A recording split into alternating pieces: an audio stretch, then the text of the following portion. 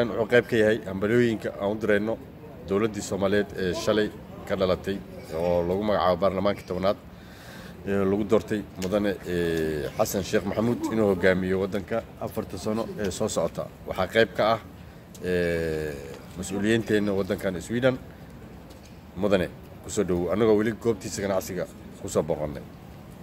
Asalaamu calaykum waraxmat ullaahi wabarakaatuhu halkan maanta waxaan ka dirayaa hambalyo ummadda soomaaliyeed meel kastay joogto gaar ahaan jamhuuriyadda dimuqraadiga soomaaliyeed dowladda federaalka soomaaliya madaxweynaha cusub madaxweyne xasan sheekh maasha allah aada iyo aada waxaan leeyahay waa ku hambalyeynaynaa waa ku faraxsannahay guusha aad ku guulaysatay markii labaad aad noqonaysa madaxweynaha qaranka jamhuuriyadda Soomaaliyeed.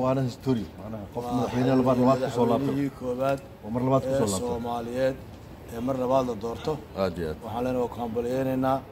Waxaan ka mid nahay ganacsatada reer allah. ee taageerayaasha kuwa. Ee ku faraxsan inaad ku soo baxday maanta maaragtay madaxweynaha qaranka. Een, waxaanan leeyahay intii maaragtay noo codaysay iyo intii aan noo codaynba halkan hambalyada dhammaanteen waan wada leenahay.